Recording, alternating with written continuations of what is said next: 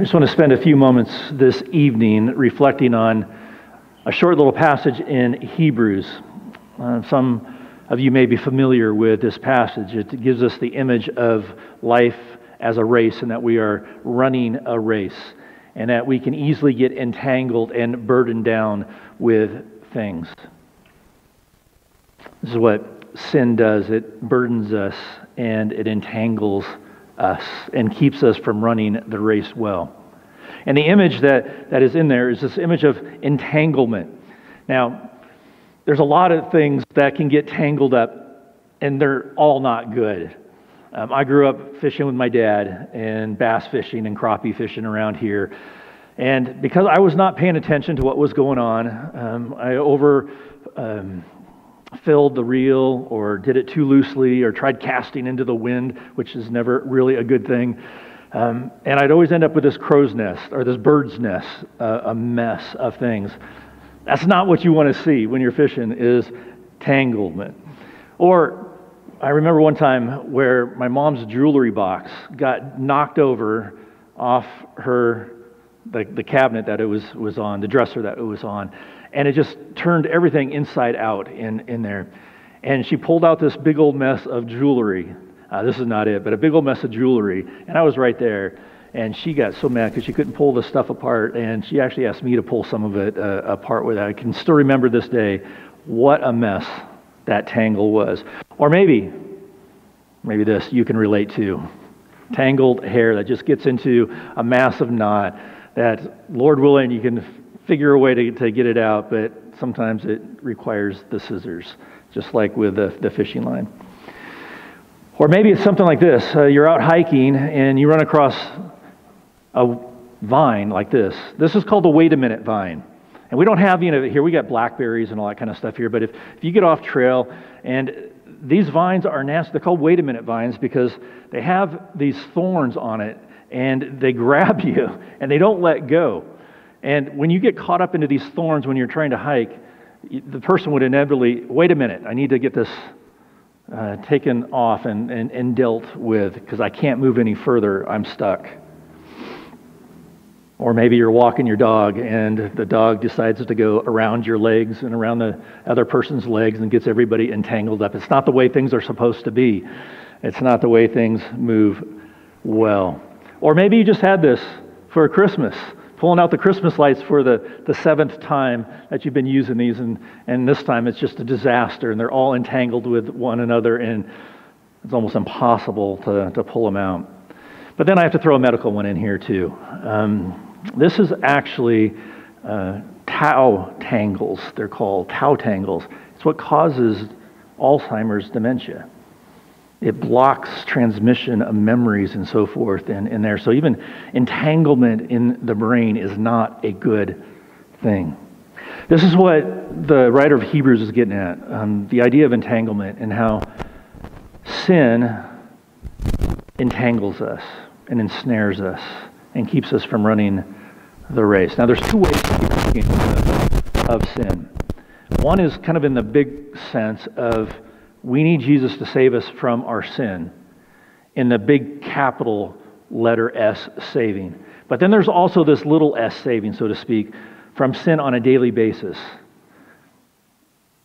That we don't get tripped up and entangled with the sins that we commit in our lives or the sins of others into our lives. This daily kind of battle of running the race that we are called, each one of us is called to run. So, the writer of Hebrews is encouraging the people that he's writing to.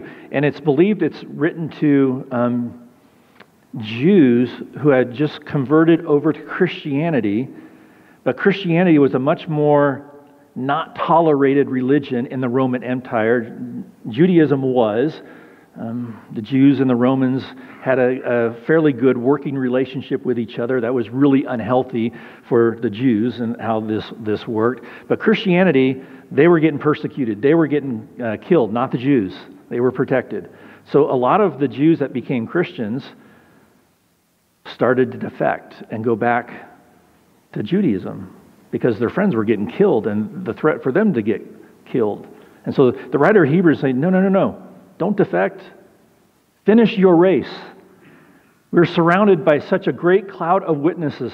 Let us also lay aside every weight and the sin which so easily entangles, and let us run with endurance the race that is set before us. So it's a call to endure the sin in this world, but then also the sin that we commit um, as, as well.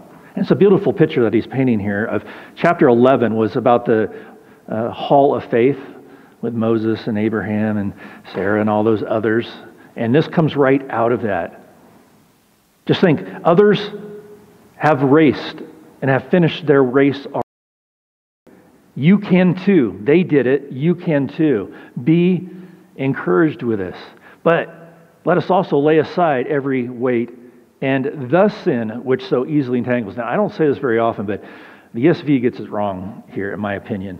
There's, there's a Greek word that they, they drop out um, on here. It's the article, the definite article before sin. So it doesn't just say sin, which would make us think of individual specific little sins, but it says the sin.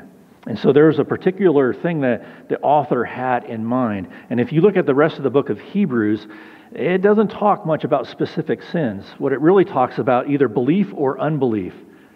So the thought is, is that the, the sin is really unbelief.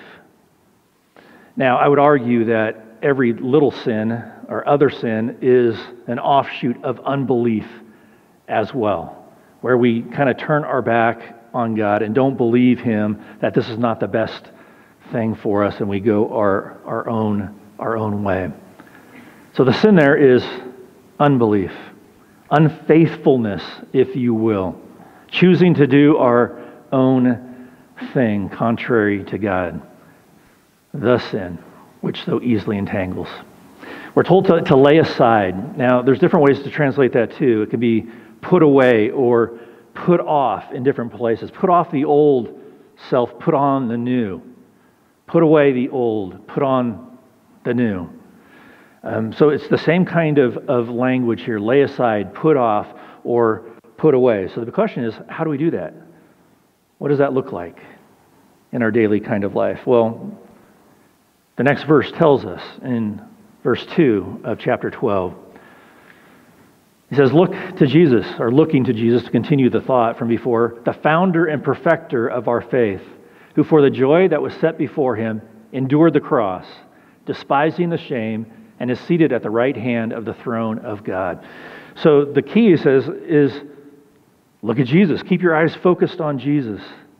It's when we take our eyes off Jesus that we get entangled and that we get ensnared with sin in this world.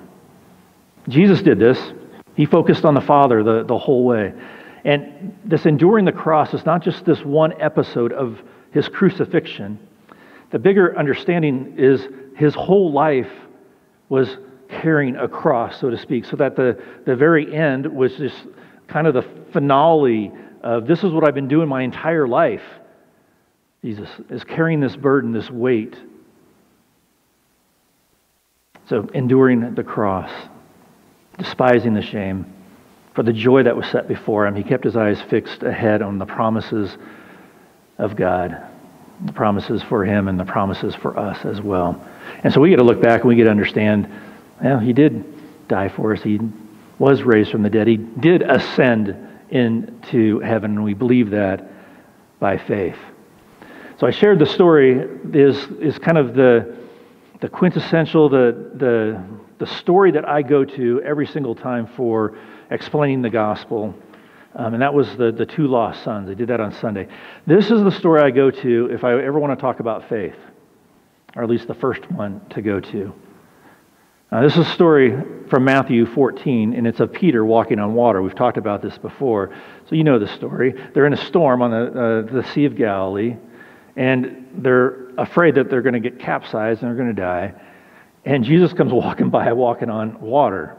And Peter realizes in his brilliance that it's probably safer to be with Jesus than it is to be in this boat with all these guys. And so he asks Jesus to call him out because he's not going to step out onto the water, which represents evil and sin and chaos. Jesus is on top of it. It's not affecting him at all. He's not sinking in evil and sin and chaos. And so Jesus says, Yes. And Peter gets out of the boat and he walks on water toward him until what happens? Till he takes his eyes off Jesus and he sees the wind and the waves, the chaos, the sin, the brokenness, the world, if you will. But the point is, his gaze is off Jesus now, and he sinks. But what does Jesus do immediately? He reaches for him and grabs him. He could have been 40 feet away, 10, 10 feet away, we don't know, but Jesus is instantly right there, not going to let him drown. He's going to hold him fast.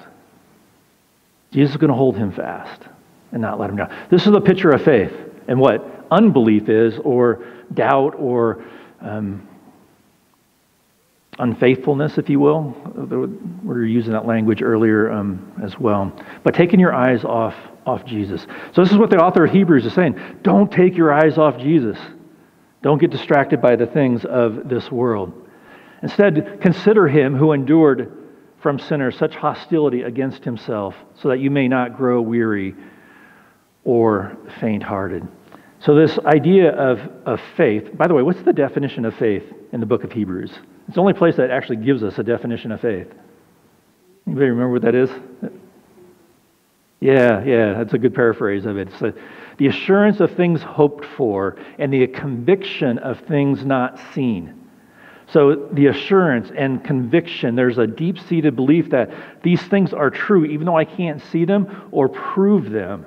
I believe them wholeheartedly that they're true. So, what the author is saying that what that looks like in day to day life is to consider, which means to, to meditate and think about and be aware of, be present, if you will, with the living God who's with you through the Holy Spirit.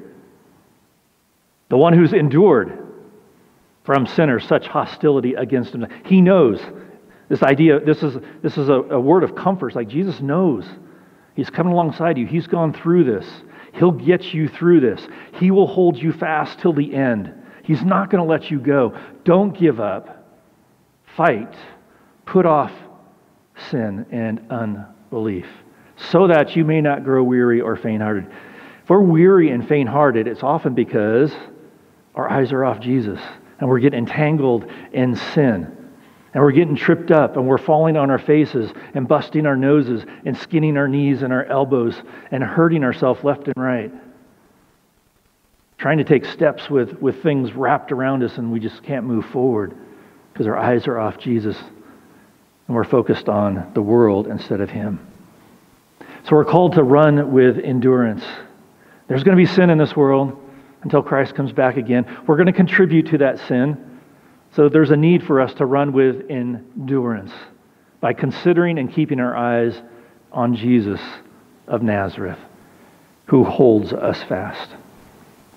Heavenly Father, we thank you for these words midweek to remind us of our need for you and our need to keep our eyes focused on you and to be attentive to your presence in our life at all times, not to get distracted by the things of this world, but to engage the things of this world through you and through your Holy Spirit and through your word. So thank you for the gift of your Spirit who is with us and for us today and tomorrow and the next. It's in Jesus' name that we pray this. Amen.